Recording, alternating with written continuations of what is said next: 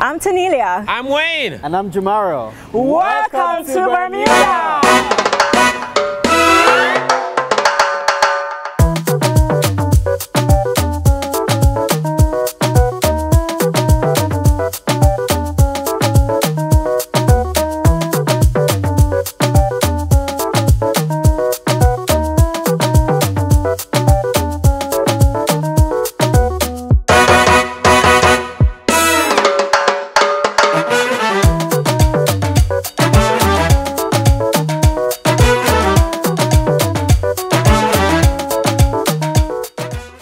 My name is Jamaro Marvel, Program Analyst from the UNDP Jamaica Multi-Country Office, and I'm delighted to be here with Founders Institute for the culmination of the Rise and Scale Bermuda Business Accelerator Program.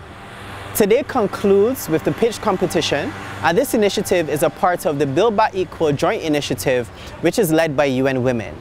UNDP is pleased to be here with other stakeholders such as the Ministry of Youth, Social Development and Seniors, and the Bermuda Economic Development Corporation in the successful implementation of this amazing program.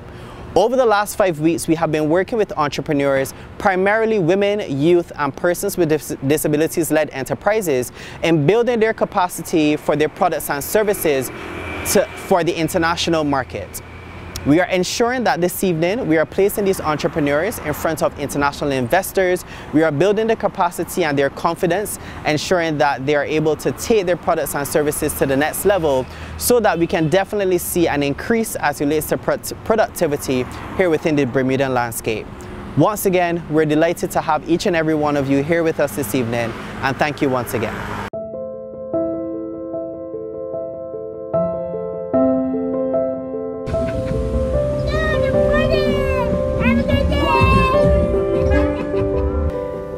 When I visit other countries uh, and I'm a visitor and they say, where are you from? I say Bermuda and they say, oh, the Bermuda Triangle. And so Bermuda is known for the Bermuda Triangle. But what we are not known for is our products and services enough or as much as we would like to.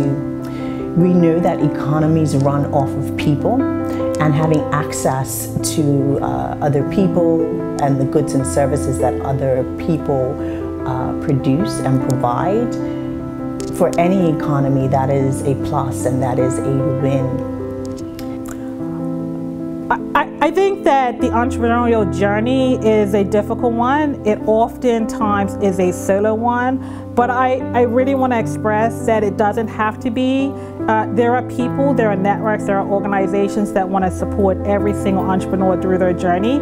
And, and it's also important to understand that not every idea will be a success, but failure is only a means to an end, right? It is not a determination of who you are. And so it's important for us to support entrepreneurs in that journey and be exposed to um, opportunities for inclusion and impact.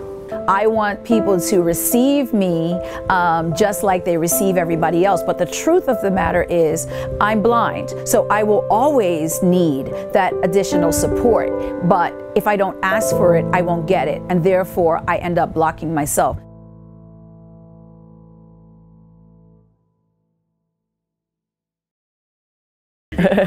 Morning.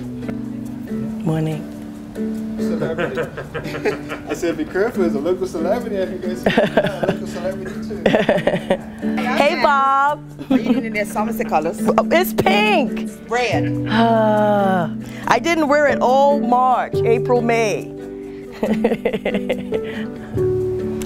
So I'm from the more central parishes and I moved to St. George's about 20 years ago and that is when I really truly fell in love with the history of the country. I bought a bookshop that was actually next door in the historic building here. And being in that historic space, looking up at the cedar beams, I think, you know, I'd wonder whose ancestors cut these beams, who carved this block. This town is hundreds of years old and just being here inspired me to be more involved with learning about Bermuda's history and then sharing what I've learned with, with the world. So in Bermuda, we have lots of women-owned businesses, and when we're talking about supporting a woman's owned business, you know, she's often supporting her family.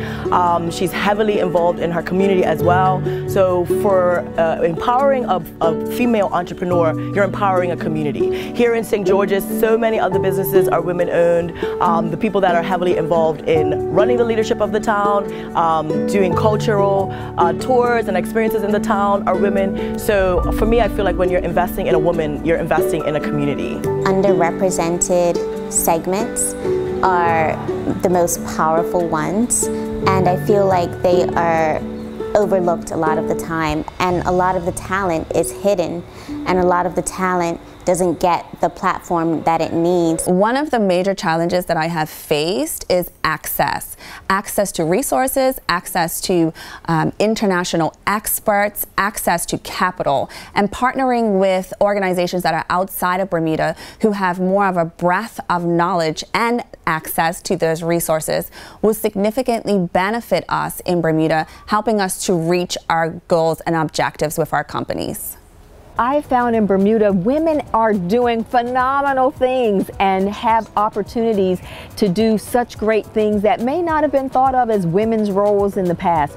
And so I really believe that because women have children and they understand about how to take care of children, they understand about how to take care of generations below and above, they are quite often in that sandwich, you know, the sandwich generation, as we say, having children on one side, parents on the other, and they're able to handle it all. And so with compassion and with a heart in lots of different ways. And so I believe that this is the, the year, the decade of the woman, as we see all over the world, women in leadership. And I believe it's that time for women here in Bermuda. They, there's no limits. We can do anything. The sky is truly the limit.